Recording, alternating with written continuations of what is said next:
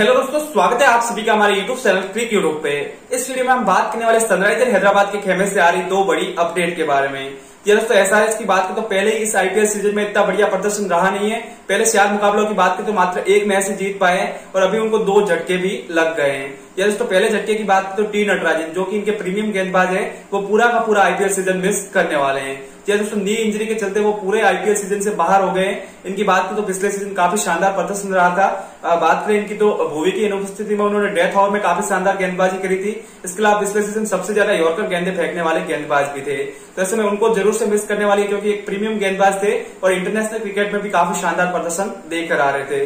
तो knee injury के चलते वो पूरा का पूरा आईपीएल सीज़न मिस करने वाले हैं।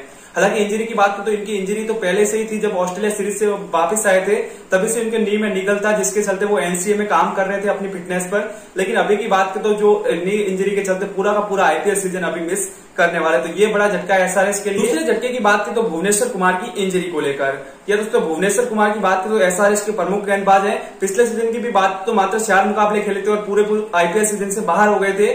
और इस सीज़न की भी बात करें तो अभी उन्होंने पिछले मुकाबले में थाई पकड़ी है तो ये काफ़ी बड़ा इंजरी स्केयर हो सकता है। टी ट्वेंटी वर्ल्ड कप को देखते हुए वो ज़्यादा रिस्क लेंगे नहीं।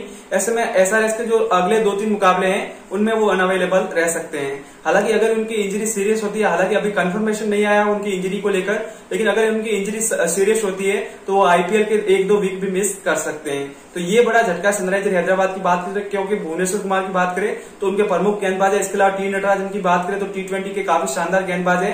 पिछले सीज़न शानदार प्रदर्शन किया था तो इस सीज़न भी काफ़ी बढ़िया प्रदर्शन की एसआरएस को उनसे उम्मीद थी। तो ये दो झटके लगे एसआरएस की बात करें तो ये उनके लिए काफ़ी बड़े झटके हो सकते हैं। खास करके बॉलिंग डिपार्टमेंट की बात करें तो इनका काफ़ी मज़बूत रहता है, लेकिन अगर दो गेंदबाज बाहर होते तो इनके लिए काफ़ी बड़ा झटका हो सकता तो वीडियो में यही अपडेट थी। क्रिकेट से रिलेटेड अपडेट के लिए आप क्रिक यूट्यूब को सब्सक्राइब कर सकते हो। वीडियो अगर पसंद आया तो एक लाइक ज़रूर कीजिएगा। धन्यवाद वीडियो को देखने के लिए।